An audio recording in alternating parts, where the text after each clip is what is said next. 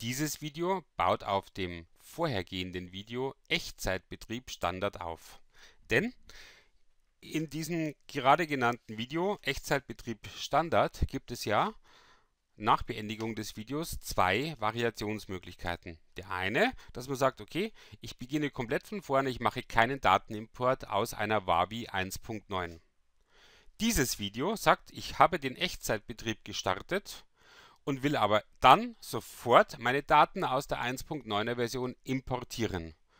Wenn das bei Ihnen der Fall ist, das heißt, wenn Sie Jahre vorher schon mit unserer Wavi, mit unserer Wavi 1.9 gearbeitet haben, dann können Sie jetzt die Daten in Ihre Wavi Profi 3 übernehmen. Und das ist Bestandteil dieses Videos.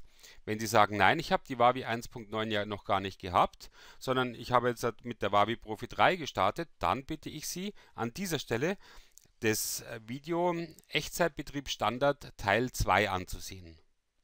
Okay, also liebe 1.9er Benutzer unserer Wavi, jetzt sind wir soweit, dass wir sagen, wir können den Datenimport oder einen Datentransfer starten. Wie machen Sie das?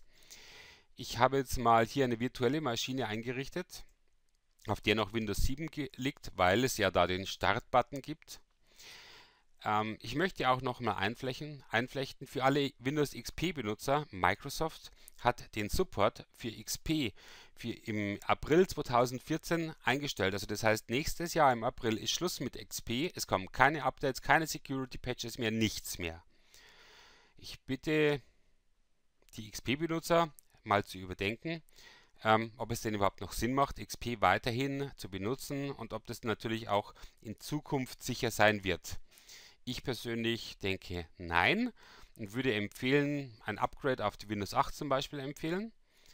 Aber das müssen Sie selbst entscheiden. Können Sie auf unserer Homepage wabi1.de nachlesen. Gibt es auf der rechten Seite einen kleinen Link, extrem wichtiges. Und dann heißt eben XP, das mal bitte anschauen. So, wir wollen jetzt aber einen Import machen. Mensch, jetzt habe ich, hab ich mich wieder in Abzweigungen verloren. Ich bitte zu entschuldigen. So, eben bis Windows 7 ist es so, wir haben einen Startbutton und da können Sie jetzt sagen, Wavi Profi 3, also das heißt, Sie brauchen alle Programme. Sie dürfen nach der Installation, und das ist wichtig, also wenn Sie den Erststart getätigt haben, nicht Wavi Profi 3 starten, ganz wichtig, sondern Sie müssen sagen, ich will jetzt den Import durchführen. Den finden Sie nochmal alle Programme, Wavi Profi 3, Service aus Wavi 1.9x und dann heißt hier die zweite Option Stammdatenimport aus Version 1.9x. Die müssen Sie ausführen. Ja, das heißt, wenn, wenn ähm, hier eine, eine, Autorisierungsmeldung kommt, wo er sagt, hey, zulassen, nicht zulassen, dann sagen Sie ja zulassen. Dann haben Sie dieses Fensterchen vor sich. Haben Sie, und jetzt switche ich auf Windows 8 zurück, weil hier haben wir Windows 8. Haben Sie nicht, haben Sie also Windows 8, dann müssen Sie wohl oder übel Ihren Installationsordner öffnen. Ich habe halt hier einen Testordner, der sich Wavi Profi 3 nennt. Okay. Wenn Sie sagen, okay, ja, wo ist denn mein Wavi? Ganz einfach, Rechtsklick drauf, Eigenschaften sagen und dann sehen Sie Ihren Pfad, das Ziel. Okay. Da könnten Sie sagen, Dateipfad öffnen. Das ist vielleicht das einfachste.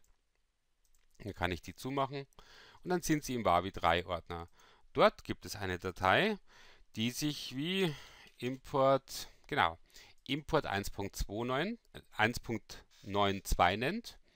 Und die machen Sie einfach einen Doppelklick. Auf diese Frage, ob Sie das zulassen wollen, sagen Sie ja. So, nun haben wir unser Fensterchen vor sich, wo wir, wo wir nun auswählen müssen, wo denn unsere Wavi 1.9 Daten liegen. Prämisse, es müssen die 1.9 ähm, oder die 1.9er Version muss auf diesen Rechner installiert sein oder, da, oder Sie haben das komplette Verzeichnis einfach irgendwo auf Ihre Festplatte kopiert. Jetzt sage ich, okay, ich will das haben, deswegen sage ich hier Verzeichnis auswählen. Ich wähle, ähm, keine Ahnung, wo habe ich mein Testverzeichnis?